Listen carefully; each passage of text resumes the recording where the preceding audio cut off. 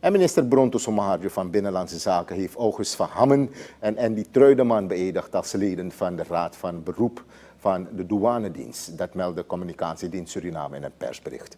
De Raad van Beroep heeft als taak uitspraak te doen bij disputen tussen de douane en klanten.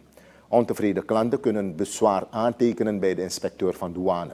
Wie toch niet tevreden is over het optreden van de inspecteur, mag naar de raad stappen. De Raad van Beroep bestaat uit vijf leden, van wie vier op voordracht van de minister door de president worden benoemd. Het vijfde lid wordt eh, op voordracht van het Hof van Justitie door de president als voorzitter benoemd. De raad valt onder de wet tarief van invoerrechten 1996.